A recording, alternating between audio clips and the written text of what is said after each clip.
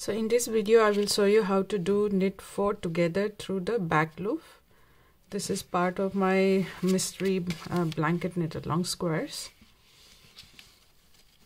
Okay, so here for these four stitches we are going to knit them together through the back loop. So it's pretty easy.